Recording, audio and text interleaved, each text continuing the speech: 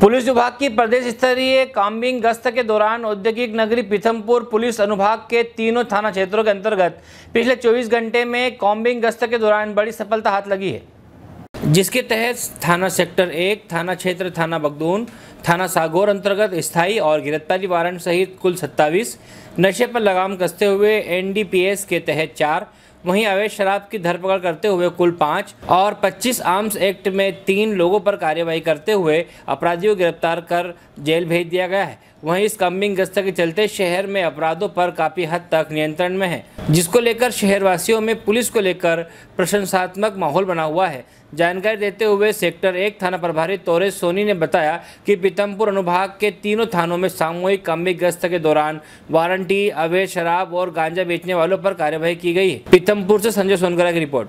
Sir ये combing गश्त के दौरान पुलिस अनुभाग में कार्रवाई की गई क्या थी पूरी कार्रवाई? कितने लोगों को गिरफ़्तार किया हाँ कॉम्बिंग गश्त धार पुलिस अधीक्षक महोदय के निर्देशन में पूरे ज़िले में चलाई गई थी। इस संबंध में पीथमपुर के तीनों थानों में काफ़ी प्रभावी कार्रवाई हुई तीनों थानों को मिलाकर के तेरह स्थायी वारंट तेईस गिरफ्तारी वारंट चार N D P S act की कार्रवाई दो चौंतीस दो की कार्रवाई इसके अलावा अवैध शराब के दस प्रकरण और आर्म्स एक्ट के चार प्रकरण बनाए गए हैं और सभी अवैध गतिविधियों में लिप्त अपराधियों को गिरफ़्तार कर जेल भेजा गया आपका नाम बताएँ। मैं तारेश कुमार सोनी थाना प्रभारी सेक्टर वन।